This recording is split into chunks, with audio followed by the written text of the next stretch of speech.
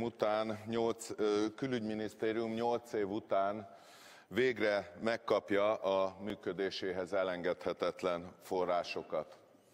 Több pénz jut a külképviseletek működtetésére, biztosítva van az egyszerűsített kedvezményes állampolgárság megadásával kapcsolatos többlet feladatoknak a fedezete, és az ideinél 12 kal az 1,3 milliárd forinttal több jut a határon túli magyarok támogatására, és természetesen a soros magyar EU elnökség költségeit sem ilyen soha nem soha meg nem valósuló ingatlan eladásokból fogja fedezni a kormány, mint ahogyan ezt elődje tervezte. Vége van annak a gyakorlatnak is, hogy a devizakiadásokat minden gazdasági racionalitást nélkülözően alacsony euró árfolyamon tervezi a minisztérium. Most a tervezés a 2011 évre vonatkozóan a Nemzetgazdasági Minisztérium által meghatározott 280 forint per euró árfolyamon történik. Mindezek az intézkedések azt szolgálják, hogy a külügyminisztérium működése kiszámíthatóvá váljon, és ugyanezt a célt szolgálja az is, hogy külön előirányzati soron szerepelnek a nemzetközi tagdíjak. A Gyurcsány-Bajnai érában a kormány a hatályos nemzetközi szerződésekből eredő fizetési kötelezettségeinkre, mondhatjuk úgy fittyet hányva, jelentős adósságot halmozott fel ezen a téren. A törvényjavaslatban 4,1 milliárd forint van elkülönítve erre a célra, azonban az előző kormányok felelőtlensége miatt ez az összeg sem elegendő a fennálló kötelezettségeink teljesítésére, a tartozások kiegyenlítésére. Ezt orvosolja Balla Mihály képviselő társam 364-es számú a Külügyi és a Határon túli Magyarok Bizottságának támogatását élvező módosító javaslata, amely az előirányzatot 7,1 milliárd forintra növeli, mint egy 3 milliárd forint pluszt adva erre a sorra. Ez a módosító javaslat is hozzájárul a kiszámítható, a magyar nemzeti érdekeket szem előtt tartó új külpolitikához, ezért kérem önöket, hogy támogassák ezt a módosító indítványt. Köszönöm a megtisztelő figyelmüket. Köszönöm képviselő úr. Most megadom a szót Schneider Tamás képviselő úrnak, a Jobbik képviselőcsoportjából. Öne a szó képviselő úr. Köszönöm elnök úr, tisztelt ház, tisztelt képviselőtársaim. A 2011-es költségvetésnek egyértelműen a szociális ágazat a legnagyobb vesztese, vagy mondhatnánk azt, hogy az egyetlen komoly vesztese. Ezt a problémát szeretné orvosolni a Jobbik az általa benyújtott módosító javaslatokkal, hiszen ez a terület 35 milliárdos elvonásban részesül, ami viszont reál értékben 105 milliárd forintos csökkenést jelent a szociális ágazatba. Ugyebár ebből a nyugdíjkasszát kivonom, és a többi területre érvényes ez a rendkívül magas csökkentés. Én úgy gondolom, hogy ez az elkövetkező időszakban komoly hátrányokat fog okozni, és komoly társadalmi feszültségekhez vezet, hogyha nem orvosoljuk ezeket a lépéseket.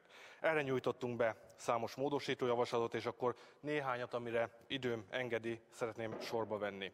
A 306-os számú módosító javaslatunk a hajléktalanokért közalapítványról szól, és hasonló beadvány van az összefogás a budapesti, budapesti lakástalanokért és hajléktalanokért, emberekért közalapítványjal kapcsolatban, és mind a kettő hajléktalanokkal foglalkozik. Egy minimális emelését szeretnénk elérni ennek a két közalapítványnak, mégpedig abból kifolyólag, hogy itt is csökkentek, illetve nem változtak a előirányzatok, miközben tetszik, nem tetszik, még akkor is, hogyha nagyon jól teljesíten a kormányzat, akkor is várhatóan növekedni fog a hajléktalanok létszáma Magyarországon, hiszen tudjuk jól, hogy milyen hitelválság alakult ki országunkban. Itt mindenképp fel kell hívnom a figyelmet, és államtitkár figyelmét is, és egyáltalán mindenki figyelmét, hogy a kormány már régóta folyamatosan hangoztatja, hogy létrehozza a Nemzeti Eszközkezelő Társaságot. Ennek még semmi elét nem látjuk, és ez azért óriási probléma, mert már április 15-én lejár a moratórium, ami után tömegével, akár ezres létszámba indulnak el a kilakoltatások. És ismerve az államigazgatásnak a működését már és a törvényeknek az átfutási idejét, gyakorlatilag már nem is látom a lehetőségét, hogy április 15-ére felálljon a rendszer. Egyszerűen már lehetetlennek tartom. Persze, hogyha január elején bejövünk a, a parlamentbe, nem tartunk szünetet, ugye, és valószínűleg ezt kell indítványozni a jobbiknak, akkor el tudunk fogadni egy ilyen törvényt, és akkor talán április 15-ére meg lehet alkotni, hogy működjön ez. Gondolják el, képviselőtársaim, februárban már be kell, hogy adják azok a személyek a különböző adataikat és kérvényeiket az államigazgatáshoz vagy az illetékes szervhez, akiket a kilakoltatás réme fenyeget. Persze van egy másik megoldás is, hogy a moratóriumot tovább kitolja a kormányzat, nyilván ez bármikor megteheti, de úgy gondolom, hogy ez megint csak nem lenne egy helyes lépés. Nos, tehát mind a két területen egy minimális emelést kívánunk elérni, ezért kérem a kormányzatot és a Fidesz frakciót, hogy támogassa ezt a módosítást. A következő, a 291-es számú módosítás a fogyatékos személyek esélyegyenlőségért közalapítványnak ugyancsak egy minimális egyébként támogatása, gyakorlatilag egy 20 millió forinttal való többlet támogatásáról van szó. Én úgy látom, hogy ezen a területen se látható még egyenlőre az a kormányzati szándék, hogy komolyabban szeretnének foglalkozni a fogyatékossággal élő emberekkel. Szeretnénk tisztán látni, hogy a kormányzat mennyire elkötelezett ezen a területen. A legutóbbi bizottsági ülésen én magam kértem, hogy fogadjunk el egy nagyon egyszerű és eddig elhangzottak alapján egy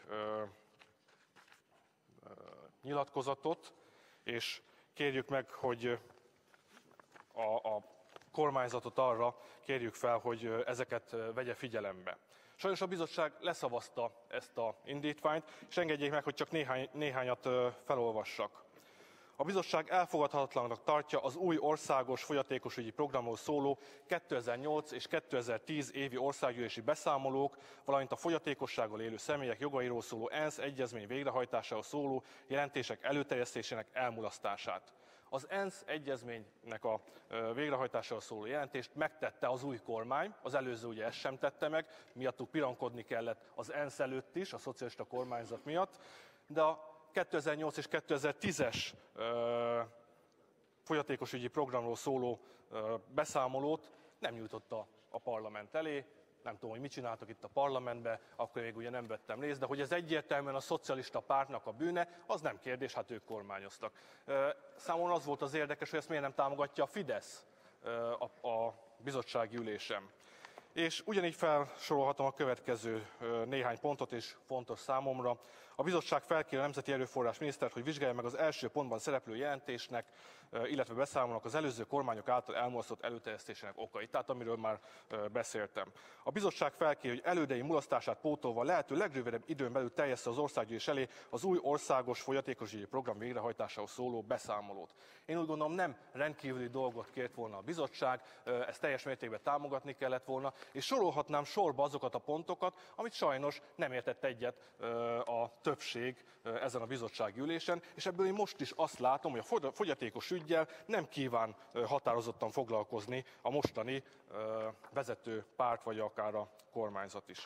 Másik fontos módosító javaslat, a 318-as számú módosító javaslat. Ez a roma telepeken élők lakhatási és szociális integrálási programjáról szól, ez egy 500 millió forintos előirányzat, így gyakorlatilag e, igazából nem elvettünk, hanem úgymond átcsoportosítottunk, de nézzük meg, hogy mire csoportosítottunk át. A szegény telepeken élők lakhatási és szociális integrációs programjára. Most is el kell mondanom, és egyre határozottabban fogjuk elmondani, hogy nem tűrjük, nem tűrjük Magyarországon, hogy szegény és szegény ember között fai vagy etnikai alapon tegyenek különbséget. Mindenki ugyanúgy megérdemli a szociális rászorultság elvén a támogatást. Sajnos ezt sem támogatta támogatja jelen pillanatban a kormányzat, és ennek tekintetében úgy látszik, hogy mégiscsak eddig üres és felesleges szó volt, amit elmondott itt a Jobbik a parlamentbe. Ugyanazt a politikát kívánja folytatni a Fidesz is, mint az MSZP tette, a fai alapú szegénységi politikát, amit teljes mértékben és százszor is el kell, hogy mondjam, elfogadhatatlan számunkra. Úgyhogy, ha mégis úgy gondolják, hogy érdemes megváltoztatni ezt, akkor természetesen lehet támogatni. Egyébként az a kör, ugyanaz a kör fogja megkapni ezt a támogatást, de ha véletlenül egy magyar embernek a háza is összedől egy kis településen, akkor ő is hozzájuthat ehhez a támogatáshoz, nem lesz kizárva belőle. A másik módosító javaslat 317-es számú az ápolási díj módosítási javaslata. Ez egy talán a legneuralgikusabb pontja jelenleg a szociális rendszernek.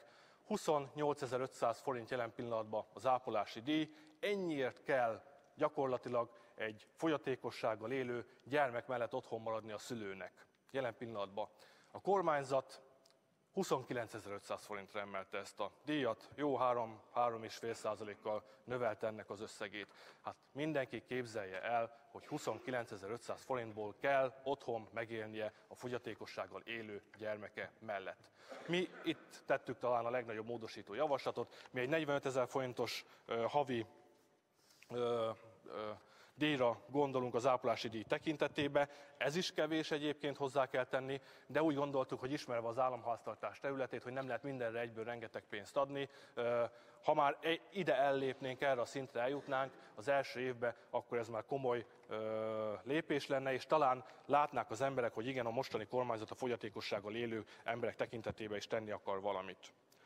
A 311-es számú módosító javaslatban a családi pótlék nem túl nagy, relatíve nem túl nagy, mert gyakorlatilag mindössze 1%-os emeléséről, 2%-os emeléséről van szó, mint előirányzatról.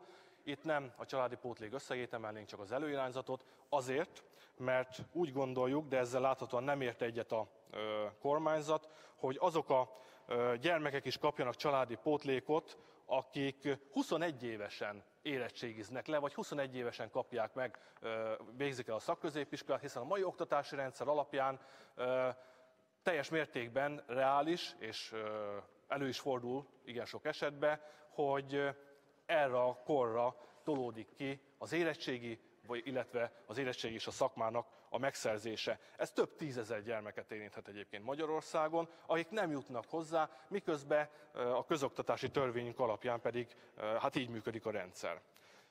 Még egyre van egy rövid időm, következő módosító javaslatunk a egy apró dolog, a Magyar Máltai Szeretetszolgálatnak kívántuk visszaadni azt, amit elvett most a, mostani kormányzat ettől a szervezettől.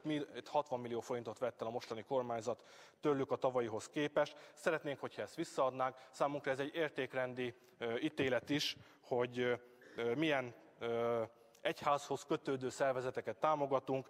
Most a baptista egyházat kívánja a kormányzat támogatni, hiszen erre nyújtottak be módosítójavaslatot még nagyobb összeggel. Mi azért hagyományosan úgy vagyunk, hogy a történelmi egyházakhoz kötődő szervezeteket szeretnénk elsősorban támogatni, nem elhanyagolva természetesen az, hogy a baptista szeretett szolgálat is komoly tevékenységet végez. És egyetlen egy gondolat, a nagycsaládosok országos egyesülete is egy olyan szervezet, ami mindenképp megérdemli, hogy komolyabb támogatásban részesüljön. Itt sem milliárdokról van szó természetesen, 25 millióról. Az egyik olyan szervezet, ami 25 éve működik, a leg, talán a legrégebbi társadalmi szervezet, és a legkomolyabb és legeredményesebb munkát végezte a véleményünk szerint a nagycsaládosok tekintetében. Köszönöm szépen, hogy meghallgattak. Köszönöm, képviselő úr. Kettő perces felszólalásra megadom a szót Babák Mihály képviselő úrnak a Fidesz képviselőcsoportjából. Tisztelt elnök úr, tisztelt képviselőtársaim, Schneider képviselő, köszönöm, hogy ezeket a kérdéseket szóba hozta. Nagyon fontos dolgot emlegetett. Én arra kérem csak önt, hogy vesztes helyet emlegessük azt, hogy az egész ország megsínylette a Megyesi, Gyurcsány, Kunce és Kóka kormányzását 8 év alatt. Jó, ha tudják, hogy 3 és 5 milliókhoz tehető azok a, azoknak az embereknek a száma, amelyek, akik a, a létmium alatt élnek ma Magyarországon. Milyen tisztelt Hölgyem, Bajnai kormányt azért emlegetem, mert az IMF végrehajtója volt, a megszólításoknak, tehát semmi értelme nincs, hogy külön beszéljünk róluk. Ebből a helyzetből kell talprálni, tisztelt képviselő úr.